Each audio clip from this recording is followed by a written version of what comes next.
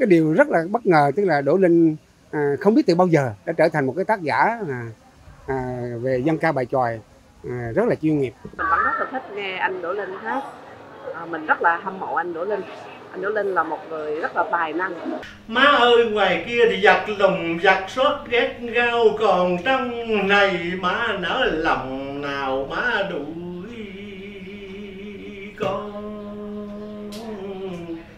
cái đoạn đó là dân người ta nghe người ta ướt ướt lẹ lắm. Đỗ Linh đó là sáng tạo đưa âm nhạc tăng nhạc vào dân ca. Thì đi vào là cảm xúc lòng người là rất lớn. Bà con cô bác lặng lặng mà nghe lặng lặng mà nghe là hồ còn bay con chim Nghệ thuật dân ca bài tròi từ lâu đã trở thành niềm tự hào của con người xứ Quảng. Trước xu hướng hội nhập với nhiều yếu tố tác động của cuộc sống hiện đại, bộ môn này vẫn luôn là ngọn đuốc sáng, soi rọi những giá trị tinh thần cao đẹp của người dân nơi đây. Một trong những nghệ sĩ góp phần giữ lửa cho thể loại dân ca này là nghệ sĩ ưu tú Đỗ Linh. trong 50 năm vừa qua lặng lẽ âm thầm làm những cái công việc mà mình yêu thích thì cuối cùng bây giờ gặt hái lại được một cái là là mình đã được giữ được cái lửa của của của của, của dân ca bài tròi.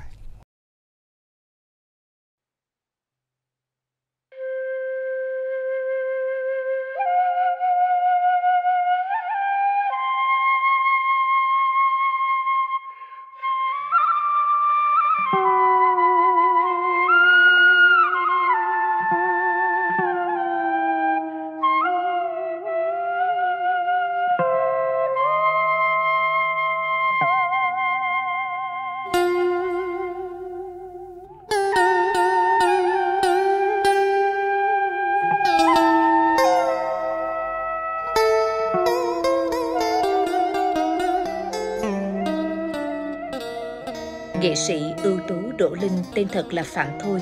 Ông lấy họ Đỗ để tưởng nhớ về người mẹ kính yêu của mình. Phạm Thôi thừa hưởng máu nghệ thuật từ cha, một người rất mê hát bội và là một trong những kép chính của gánh hát bội Ý Hiệp miền Trung ngày ấy. Niềm đam mê nghệ thuật dân ca được nuôi dưỡng từ tấm bé, theo suốt những năm tháng tuổi thơ ông như một cơ duyên định sẵn, để rồi chính chữ duyên đã cho ông gặp được ông Văn Còn, một người chơi đờn phím lõm cho đoàn cải lương tấn tài ngày xưa. Từ đây ông được ông Văn Còn dạy cho những bài học vỡ lòng về nhạc lý. Đây chính là động lực để Phạm Thôi tự mày mò, tự tìm tòi học hỏi để theo đuổi đam mê của mình. ba của Đỗ Linh là một diễn viên chính của gánh hát tuồng ý hiệp miền Trung không ít thì nhiều cũng ảnh hưởng tới cái gen của của ba ngày đó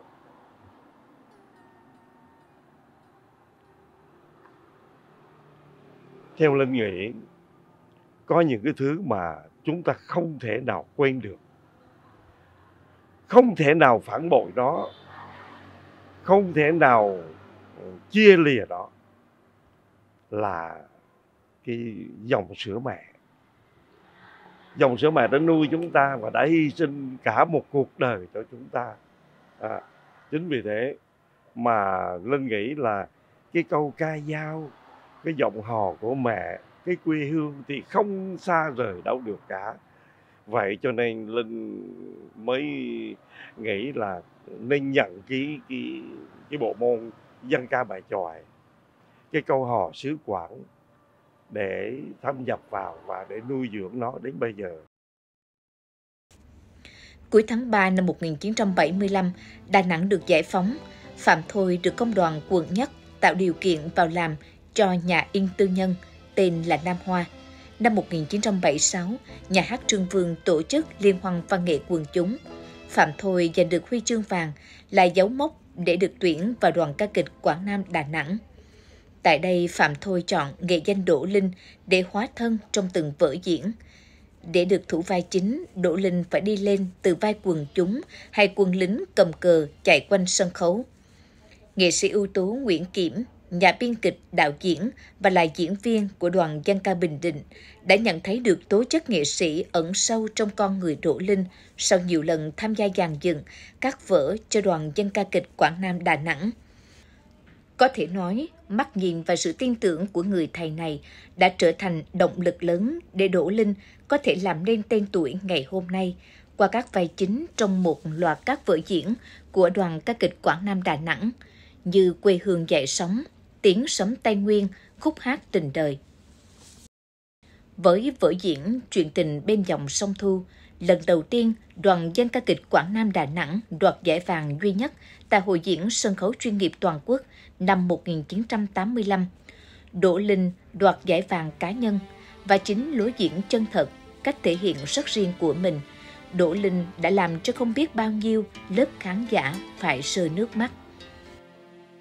Hỏi trời có thấu cho chăng anh em ghét bỏ nhân dân chẳng nhìn. Nói gì cũng chẳng ai tin. Hằng này ai rửa cho mình về sao Má đuổi con biết đi đâu? Lang thang bờ bụi canh thâu Con khóc thầm. Một ngày rồi suốt cả hai đêm, Con ăn rau, con đút lá càng thêm xót lòng. Má ơi, má ơi thương lấy con cùng. Con xin chịu tội trước vong hồn, vong hồn anh con. Đó, những cái đoạn đó là Đỗ Linh diễn là người ta dưới người ta khóc quá trời. Con giả người ta khóc xuống nước luôn á. Nó đi vào cái lòng người, đi vào đậu tâm á. Cái cảm xúc. Bông một ôm nghe như sét đánh ngang, mày tỉ như dao sét xéo dày tim gan anh đi rồi ôi mơ ước nát tàn bao nhiêu kỷ niệm chưa chăng phải rồi. Mối tình đầu ai nỡ vội, chia phôi đôi thường nhớ lại những lời trao nhau quăng lòng chẳng thấy anh đâu. Mắt anh rồi, ôi, trao dân ngắn lệ. Lòng đau đớn lòng.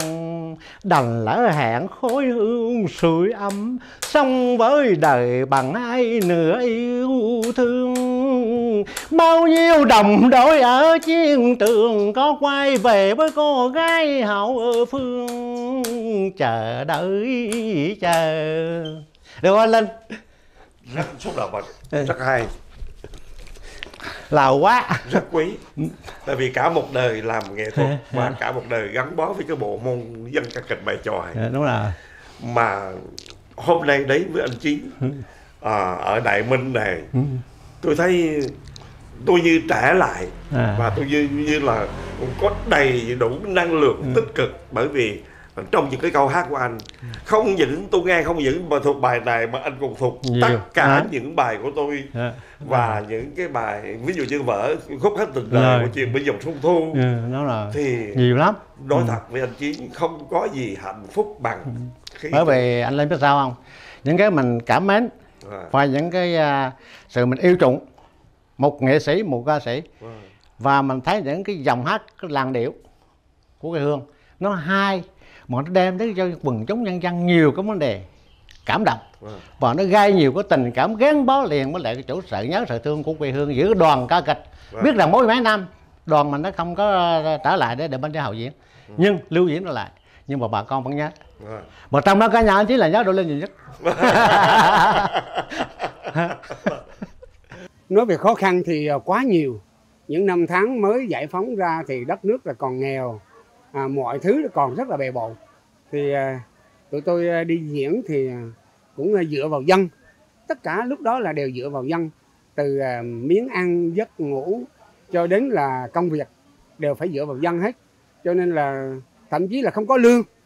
Những ngày đầu giải phóng là chỉ cả những đồng tiền tượng trưng đủ để mua những cái đồ lặt vặt để sinh hoạt cá nhân thôi chứ ngồi ra lúc đó hát là à, từ năm 75 76 cho đến 77 78 là hầu như là lương chưa có gì. Cho nên cái cuộc sống nó rất là khó khăn.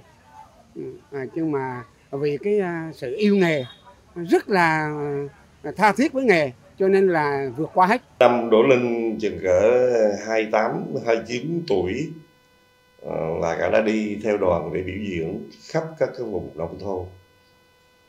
Thì có một cái đợt là Đỗ Linh diễn tại xã Đại Lãnh mà phải qua sông. Thì thường thường là khi biểu diễn đi tới các cái địa phương thì xin nhà dân ở. Thì may mắn là Đỗ Linh ở cái nhà dân thì có hai mẹ con thôi, một cái túp lều tranh mà Linh thì thích như thế để cho nó trống vắng cho nó không có cái gì đó mà nằm mình suy nghĩ để mà nghỉ dưỡng cho nó khỏe để tối biểu diễn thì à, nhà có bà mẹ và đứa con gái, tên là Hương. Có mái tóc may rất dài và rất là dễ thương. Thế thì à, ở một tuần, nhưng mà đoàn diễn chỉ có một ngày thôi, một đêm thôi.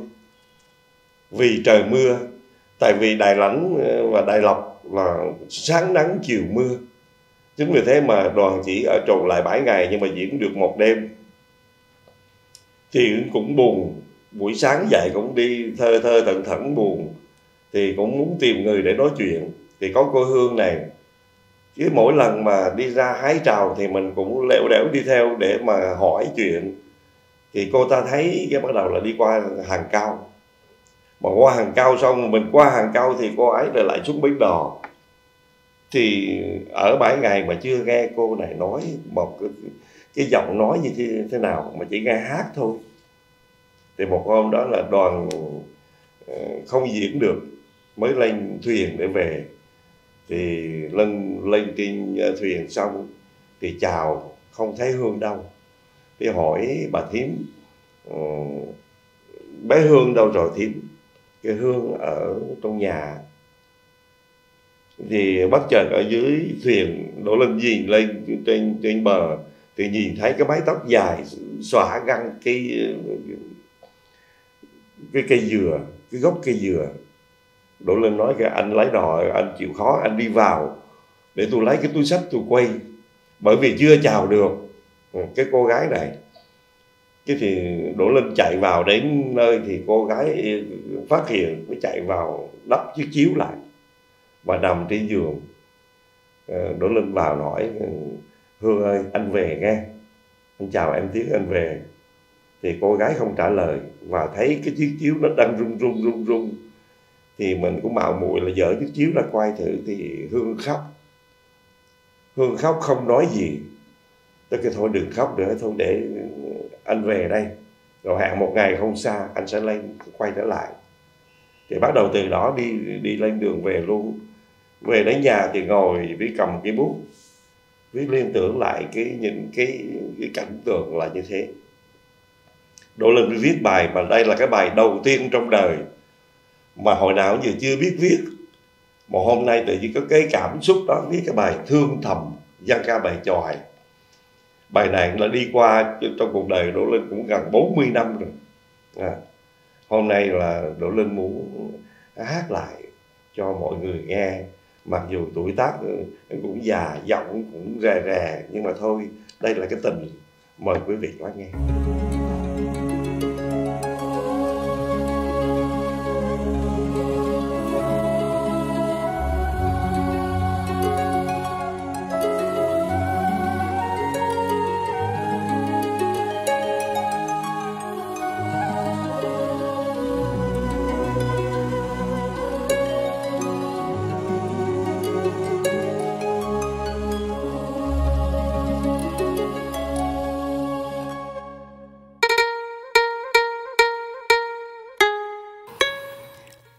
Có nói gì đâu, Mà mắt em như đầy y hoài. Anh có nói gì đâu, Mà môi em cứ bối rối ngập ngừng. Anh có nói gì đâu, Mà em cứ mãi băn khoăn anh đi cửa trước, em lần cửa sau. Anh đến vườn cao em trốn ở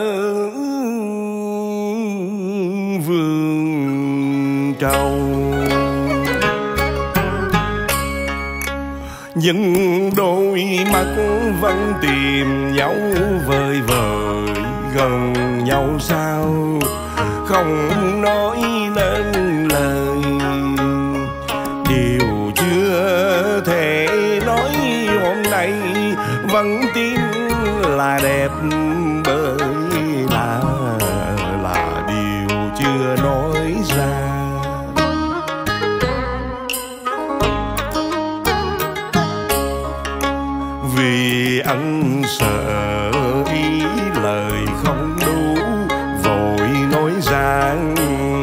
Liệu có thứ tha khi sai ý sai lời?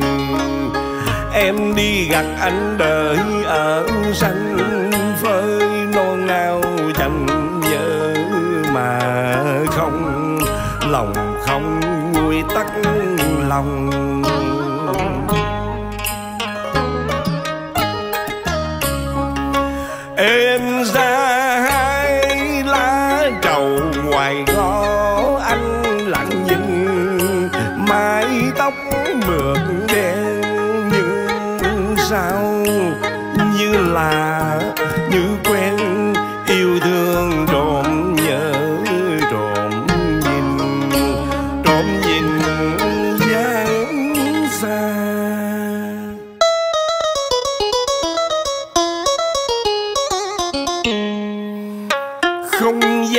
Đợi chờ thơm ngát bao la.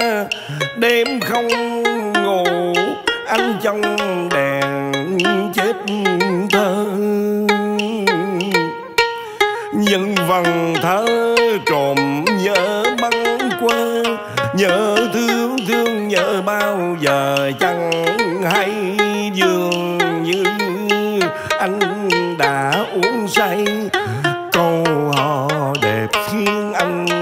say, thật rồi.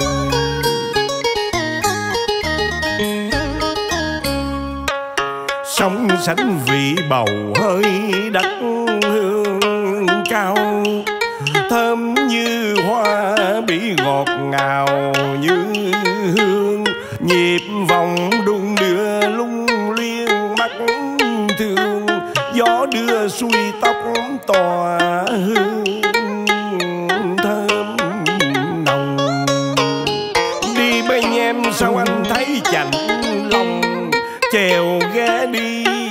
chỉ nói thầm với nước sông.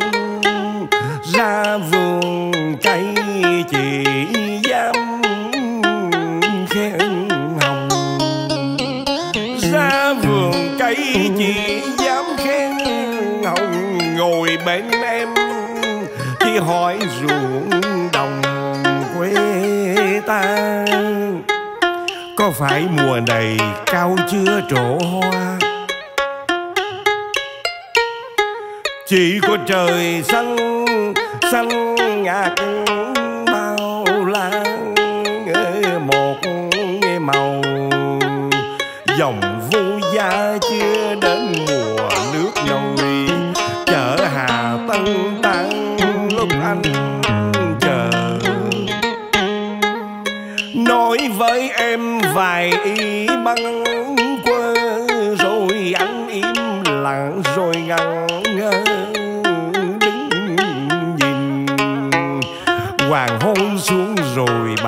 mà bình minh. Câu dân ca yên đầm ân tình gió đưa. Đại lạnh quê em nắng sớm chiều mưa, buổi chia tay duy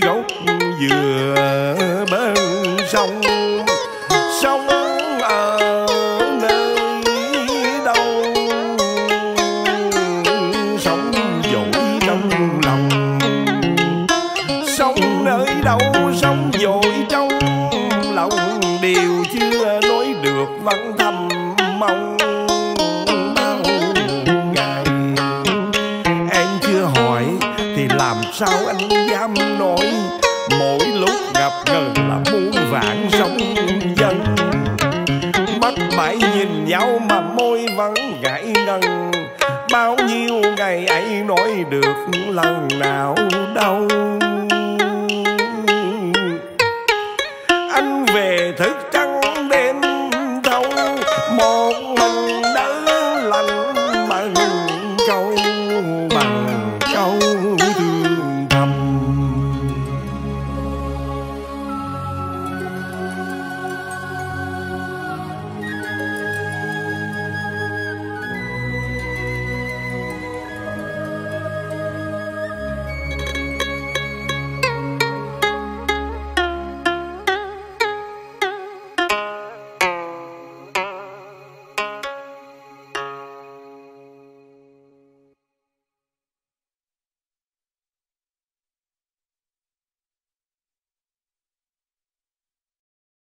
thần của vở diễn. Cái thần ấy chính là chìa khóa để người diễn viên hóa thân toàn bích vào nhân vật của mình. Chính vì lẽ đó mà ông luôn đạt được những thành công nhất định trong từng vở diễn mà ông thủ vai, cả những vai chính diện lẫn những vai phản diện.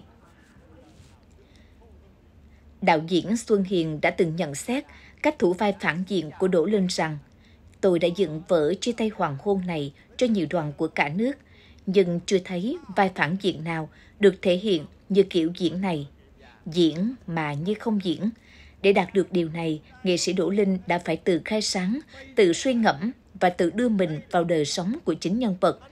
Và rồi ông không chỉ diễn bằng cái tâm mà còn bằng tất cả tư duy và cá tính riêng của mình. Cái hồn của nhân vật cũng toát lên từ đó. Nhờ vậy, trong liên hoan sân khấu gian ca kịch toàn quốc năm 1998 tại thành phố Huế, vai diễn này đã đem lại cho Đỗ Linh chiếc huy chương vàng danh giá. tôi phải lo phải nghĩ cho con mình hạnh phúc nó lâu dài tôi Dạ. hỏi thật anh nhé Dạ. kỹ sư quá chắc hiện nay lương tháng mấy triệu anh chia ngày bao nhiêu Đấy vậy có đủ chi tiêu sắm sửa cho bản thân và cả vợ con. Hả? Hay là đầu tháng lầu xôn giữa tháng cạn kiệt nó không còn tấm tranh ai tin được các anh các chị Dạ. Thế yêu nhau là thỏa chí phổi bò. Ờ, Thôi thôi Dạ. thôi thôi. Phận và thân có đâm đầu Nhắm mắt cứ cho. Năm 2011, nghệ sĩ ưu tú Đỗ Linh xin nghỉ hưu trước tuổi. Thế nhưng chữ duyên chữ nợ với dân ca bài tròi xứ Quảng thì vẫn cứ âm ỉ mãi. Nghệ sĩ Đỗ Linh dành hầu hết thời gian và tâm huyết của mình cho sự nghiệp sáng tác. Những ca khúc ông viết đều thấm đượm tình yêu quê hương, yêu con người xứ Quảng và giai điệu đều ngọt ngào như những khúc hát ru chân chất bình dị. Từ đó đến nay, với gần 300 tác phẩm, ông đã góp phần làm giàu đẹp thêm kho tàng dân ca truyền thống của mảnh đất Quảng Nam. Hơn cả, ông còn là một người thầy đáng kính của nhiều lớp nghệ sĩ trẻ, truyền cho họ ngọn lửa, yêu bài tròi, hướng dẫn cho họ nhiều bài học kinh nghiệm cả trên sân khấu lẫn trong đời sống. Không hoa khi nói rằng nghệ sĩ ưu tú Đỗ Linh chính là người giữ lửa cho vốn âm nhạc truyền thống quý giá mà cha ông để lại, nghệ thuật dân ca bài tròi ờ, năm mươi mấy năm rồi vẫn cứ giữ cái cái bộ môn dân ca bài tròi và cũng suy nghĩ để làm thế nào cho bộ môn bài tròi mỗi ngày được đứng vững trên cái à, cái kịch chủng của ờ, của cả nước. Hai cái từ giữ lửa Đỗ Linh cảm thấy băn khoăn thế nào? Không dám nhận. Bởi vì nó lớn quá. Ờ. Ồ. Phải đòi hỏi cái nhận thức đòi hỏi cái uh, trường trải chứ không phải đơn giản được. Bởi vì nếu như anh giữ lửa anh đốt lửa nhưng mà không có củi thì chịu. À mà ý ở đây là khán giả, là khán thính giả, những người ham mộ, những người yêu bộ môn này. Họ đến với mình. Nếu như họ không đến với mình, họ không yêu mình thì có giữ trời cũng không được, lửa sẽ tắt liệm chính vì thế mà lân tìm mọi cách để len lỏi vào với cái cái cái bộ môn này là sáng tạo. Phải sáng tạo để gì? Để cho cái lớp trẻ bây giờ để yêu cái cái cái cái bộ môn của mình. Chứ không phải là lớp già không mà cái thế hệ mai sau còn truyền lại đời này sang đời khác. À, linh cứ nghĩ rằng à, không những là bài tròi nhưng mà nhiều cái làn điệu dân ca của của các nơi cũng đều có cái sáng tạo. Cho nên linh mạo muội là đưa ca mới vào dân ca bài tròi. Khi Đỗ Linh nó là sáng tạo đưa âm nhạc, tăng nhạc vào dân ca, thì đi vào là cảm xúc lòng người là rất lớn. Và chính cái hiệu ứng đó đó làm cho dân ca nó ngày ngày càng phát triển và để lại trong công chúng nhiều cái niềm vui và tạo ra đó là hướng phát triển mới cho cái nghệ thuật dân ca của chúng ta. Có thể nói rằng là Đỗ Linh là người vừa là giữ lửa vừa là người thổi hồn vào dân ca. Nhưng mà đồng thời cũng là người đào tạo trao truyền cho thế hệ trẻ rất nhiều á làm điều. Mặc dầu á là tuổi cũng đã bước vào đó là 70 nhưng mà cái sức sáng tạo của Đỗ Linh á, là không ngừng. Thì ra Đỗ Linh trong cái quá trình làm nghề á, thì tôi biết Đỗ Linh đã tích lũy cái ờ, vốn sống của mình à, rất là dạng dày và đã thấm nhuần được những cái bài học mà của ờ, các thầy cô ngày ờ, đi trước để lại. À, cộng với cái sự chịu khó tư duy sáng tạo á, Đỗ Linh đã có những bài hát à, Đỗ Linh đã mạnh dạn đưa ca mới vào trong nghệ thuật dân ca bài tròi cho nên anh cũng đã có nhiều cái bài viết à, rất là mới rất là hấp dẫn và rất, được nhiều người ưa thích được ờ, gặp à, nghệ sĩ ưu tú Đỗ Linh ờ, chính chú là người đã dìu dắt Tăng và đưa Tăng vào với cái lĩnh vực hát dân ca. Và cũng chính chú là người thầy đầu tiên à, dạy cho Tăng những cái bài bản những cái ờ, à, làn điệu về dân ca. Và từ đó thì cảm nhận của mình là à, đã yêu từ nhỏ rồi. Cho nên khi được à, người thầy đầu tiên dẫn dắt mình vào con đường nghệ thuật này thì mình lại à, yêu thích dân ca nhiều hơn nữa và cũng nhờ có thầy à, để cho mình có được những cái cơ hội tạo cho mình à, những cái bước đệm ngay từ đầu tiên thì tạo cho mình những cái cơ hội để mình tiếp xúc gần hơn với dân ca và tạo cho mình ra những cái môi trường để cho mình thể hiện được cái niềm ước mơ của mình nhiều hơn nữa. Thì ba mình thì cũng rất là hay rất là hay mở dân ca trên tivi hay là à, thỉnh thoảng thì ba cũng hát thỉnh thoảng ba cũng có hát vài đoạn. Mình cứ nghe nghe nghe vậy mà mình nghe vậy thì mình à, cảm giác là mình rất là nhớ về quê hương mình một cái giai điệu của cái quê mình á cái dân ca bài tròi quảng nam á mình cứ nghe đi nghe lại mình còn nghe mình còn thấy thích. Thì cho dù bây giờ lớn như thế này đi ra một cái nơi à, phát triển như thế này mà mình cái lòng yêu về cái cái cái tình yêu về dân ca của mình nó vẫn không có thay đổi nó vẫn không thay đổi. Mình vẫn rất là thích nghe anh Đỗ Linh hát. À, mình rất là hâm mộ anh Đỗ Linh anh Đỗ Linh là một người rất là tài năng. Anh cho tới bây giờ anh đã lớn tuổi rồi, nhưng mà anh hát, anh biểu diễn, anh vẫn rất là có hồn, rất là có hồn luôn. Mình xem đi, xem lại, xem hoài, xem mãi mình cũng không thấy chán.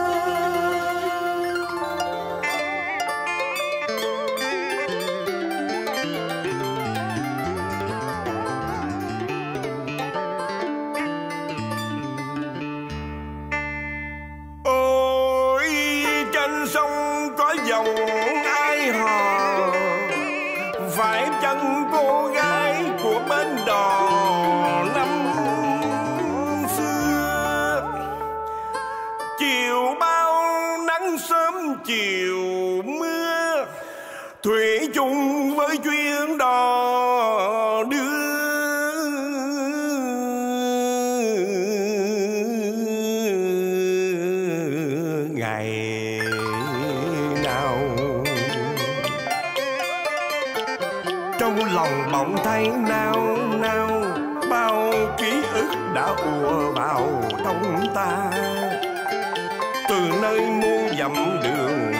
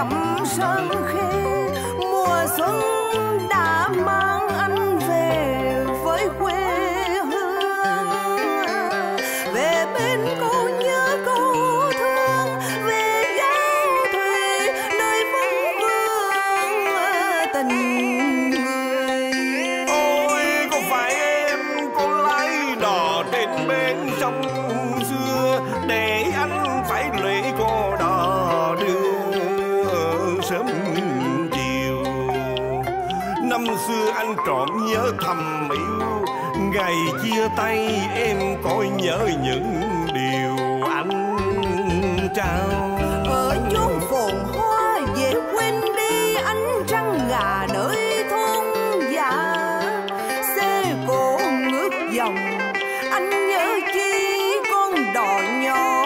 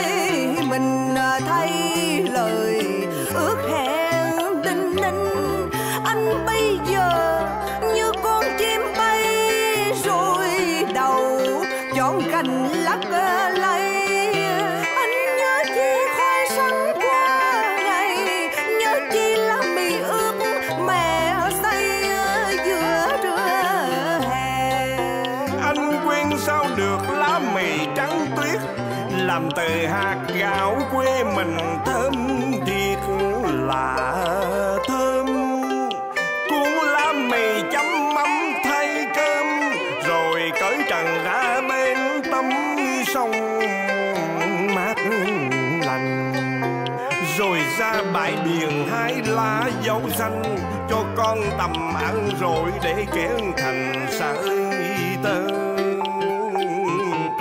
rồi hai đứa giả vờ làm đám cưới, mơ ước tương lai hạnh phúc dài lâu. Em trùm chiếc khăn tơ tầm làm giả cô dâu còn anh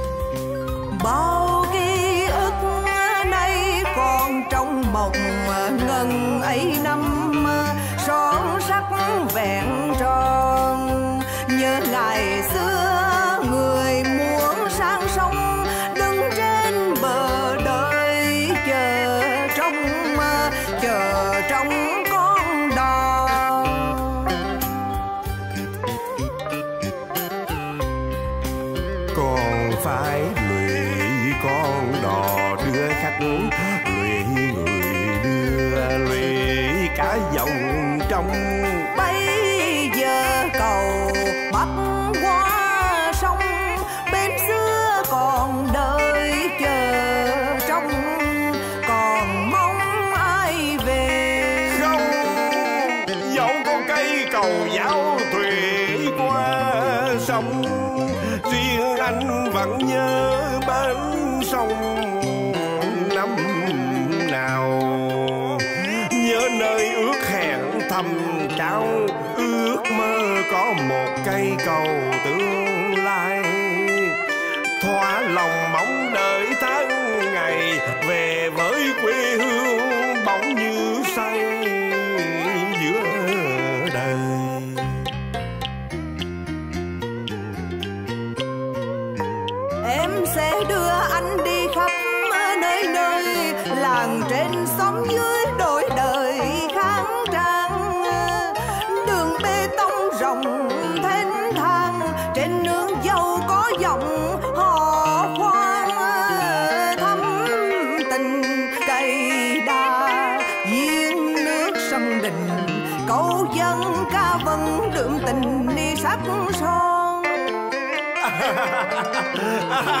còn nữa, quê mình có những món ngon đến mùa nước lũ đi bắt con dê mẹ rang lên thành một món ăn, ngồi bên bếp lửa với mấy thằng bạn quê. Bao ký ức lại quay về, quên sao được cái tình mà quên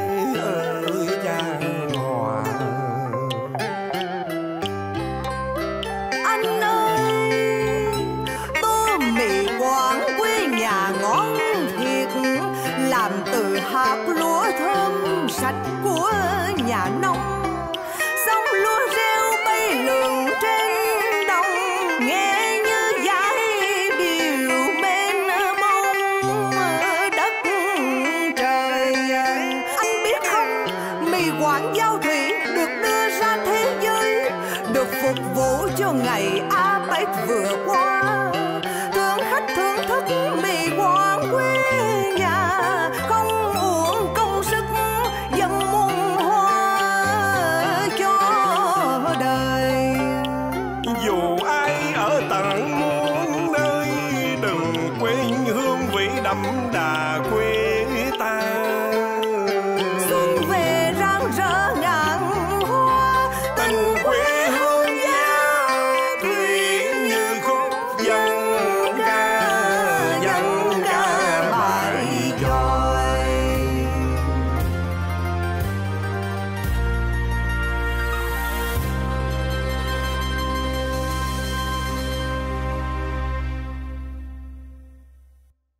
dân ca bài tròi đã được UNESCO công nhận và được cả nhân loại biết đấy.